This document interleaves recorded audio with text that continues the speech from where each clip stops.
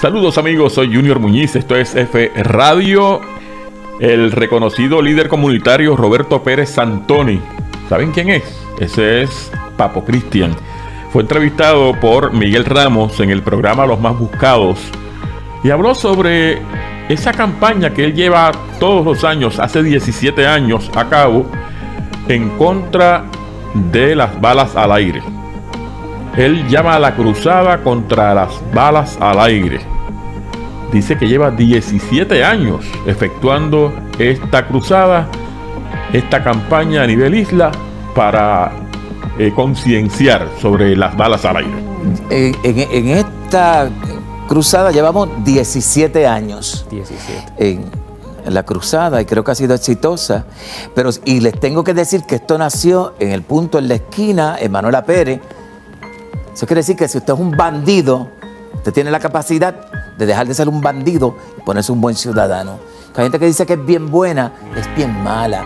Y hay gente bien mala que tiene cosas buenas. Dejen la maldita delincuencia y la criminalidad, transfórmense en buenos ciudadanos. Esto nació en la esquina, decidieron no disparar. Yo creo que la, muerte de, Jessica Pacheco Calvente en Quintana impactó de centeno en el mismo caserío que, que murió un muchachito y era de educación especial. Todas estas cosas impactaron. Y a mí me llevaron la idea, porque mi idea no. Es como que tuvieron un hijo y me lo entregaron y yo lo crié. Y es mío. Y se hizo hijo de todo el pueblo de Puerto Rico. Papo Cristian dice que desde que se está llevando a cabo esta cruzada de no balas al aire, ha bajado la incidencia criminal en este sentido, en el sentido de las personas heridas por balas perdidas durante la celebración de la Nochebuena o despedida de año. 17 años y en estos 17 años en 14 de ellos no han matado este, a una persona. En el 2003, que tienes la tabla por ahí, sí, lo tengo por ahí. habían 22 heridos. Y el año pasado, una persona supuesta y alegadamente, porque se cuestionó, este, pues una bala perdida.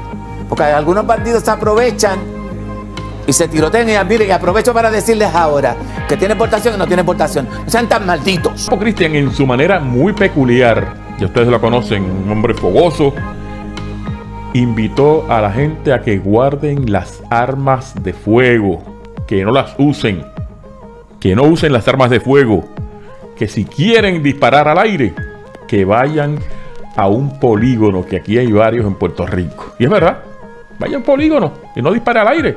Así lo dijo Papa Cristian. ¿A usted le gusta disparar? Hay un deporte que es de tiro al blanco. Váyase un maldito polígono o un bendito polígono y practique ahí. Y este nos representa los Juegos Olímpicos y por allá y ganamos medallas. No dispare al aire. Y siempre muere gente inocente. Y siempre salen heridos. Guarden las malditas armas esas en su casa. Y si usted, señora, señor, que es el papá, el hijo, el sobrino, escóndale las armas. Usted, a lo mejor tú que eres el, familiar, te le puedes enfrentar al bandido y al que tiene portación de armas. Que se emborrachan, se endrogan y se vuelven locos. Si usted se puede acercar a estas personas, si usted sabe que es un bandido que se desinhibe cuando bebe ron o cuando usa droga, acérquese, escóndale el arma. Usted puede, usted puede, usted puede quitarle el arma a esa persona y esconderla para que no mate a una persona. Eh, hizo un llamado a la gobernadora Wanda Vázquez para que firme la orden declarando diciembre el mes de no balas al aire, que se viene decretando todos los años hace ya 17 años. Diciembre, mes de ni una bala más al aire. El 31, ese es el día de no balas al aire oficialmente. Señora gobernadora, antes de que se vaya Wanda, Fírmate la proclama. La ley obliga prácticamente a todas las agencias de gobierno para que celebren este mes de prevención de los disparos al aire. Y el 31 de diciembre, el día de no disparos al aire. Señora gobernadora, firme la proclama. Señores alcaldes, algunos que se quedan y otros que se van, hagan lo que tengan que hacer para que no se dispare al aire. No permita que disparen al aire a sus vecinos. Si tiene vecinos, Espere el otro día para que vaya a saludarlos y le dé felicidades en el Año Nuevo, en Navidad, en Reyes. Al otro día, para evitar la bala al aire e hizo un llamado a Pablo Cristian a que se pongan la mascarilla y eviten el COVID-19. Si usted es de estas personas que durante todo el año ni mira a los vecinos y les pasa por el lado y los ignora, desde el condado hasta, hasta los caseríos y las barriadas, espere al otro día y los felicita. No se venga a meter cuatro palos y se te presentó las 12 sonando y a las 12 y un minuto usted en la calle. Quédese en su casa y felicita a todo el que usted le dé la gana. Pero quédese en su casa y en familia y con el protector para que el COVID no se lo lleve. Definitivamente Papo Cristian es otra cosa. El tipo está ranqueado, como dicen en el barrio. Esto es F Radio, radio en su red social. M&M Autoservice, dale cariño a tu carro, mantenimiento, gomas, inspección, mecánica liviana, te venden el Marbete, calle Comercio Final, Yauco, 787-267-3136.